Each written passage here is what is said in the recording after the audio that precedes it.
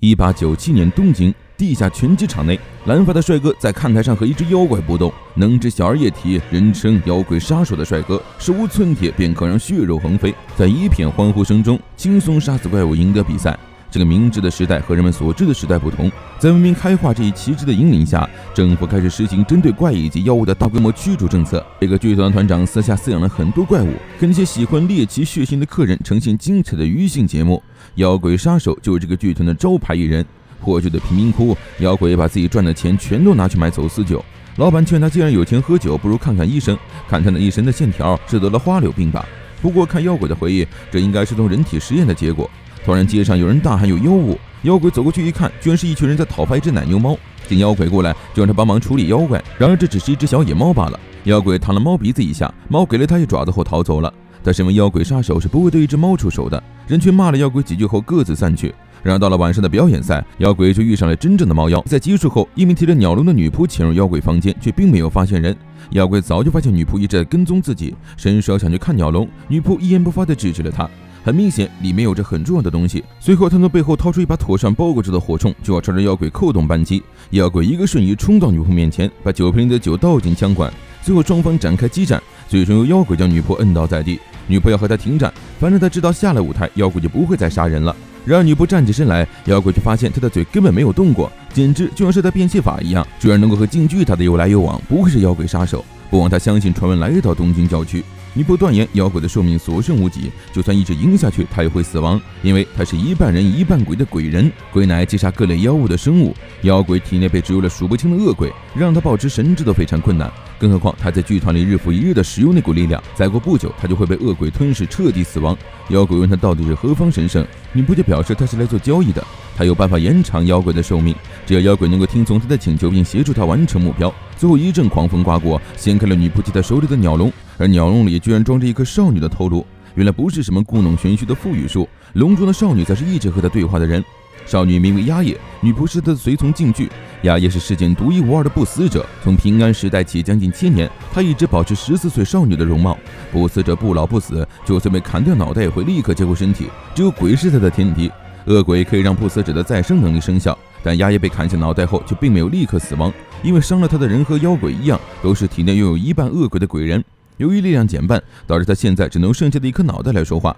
半年前，一个鬼人闯入他家，将他斩首，并带走他的身体。凶手将脸遮得严严实实，他只看到对方释放的首领是个拄着拐杖、声音嘶哑的外国老头。京剧受了重伤，他又成了现在这副模样。就算他想要夺回身体，电车远在大洋的彼岸，仅凭一颗人头，他实在无计可施。虽然同为鬼人，但妖鬼体内鬼的浓度却远超于人，也更能对鬼怪产生显著的影响。换句话说，他能够杀死不死者。剧团的表演结束，为了不让鸭叶被拉去上台表演个节目，妖鬼提议他们换个地方谈。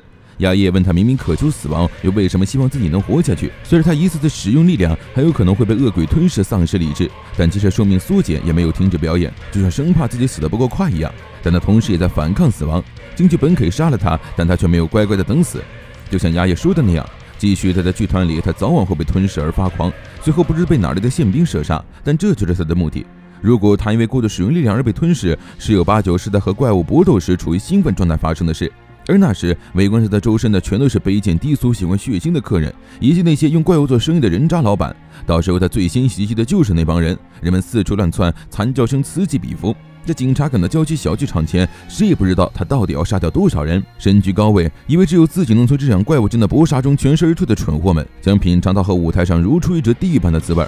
当自身的寿命所剩无几时，妖怪便有了这个想法：反正横竖都是一死，他干脆死得快乐一点，顺便还可以纠正一下社会的不良风气。所以他故意让团长把他捡回去，在吸引更多客人之前掩饰自身的意图。不过，鸭叶既然有办法延长他的生命，他就只好放弃这个计划了。鸭叶觉得妖怪真奇怪。自己的性命居然也能拿来开玩笑，而且有趣滑稽的方式将怪物杀掉是他的艺术，那为什么不能以同样的方式杀掉自己？更何况他本身就是怪物，根本无需将鬼植入他的体内。自从诞生起的那一刻起，他就脱离了人类这一范畴。亚叶找来妖鬼是让他杀了自己，在他这个年纪去仅凭一颗脑袋活下去，实在没有什么乐趣可言。妖怪表示自己接受了亚叶延长寿命的提议，但不会杀了他。亚叶说过，即使他想要夺回身体，说明他其实有办法取回身体，恢复原貌，只不过敌人远在欧洲罢了。明明有机会恢复原貌，就这样死掉，岂不是很可惜？即使困难，不也有追上去试一试的价值吗？妖鬼问京剧：“难道不想让亚叶活下去吗？”京剧表示他的职责只是听从命令。亚叶说自己想死，他很愿意寻找能够死掉的方法。扮演傀儡就是他们一族的家训。亚叶劝说他前往欧洲，妖鬼能得到什么好处？妖鬼表示，夺走叶爱的身体，似乎和当家的变成非人之物的是同一个人。那个老头的拐杖上刻着一个 M，不如他们强强联手前往欧洲报仇去。就算只剩一颗脑袋，这世上还是有很多乐趣的。亚叶让金就把自己拿出来，他答应和妖鬼一起前往欧洲，而他提掉延长寿命的方式就是吃掉他的一部分。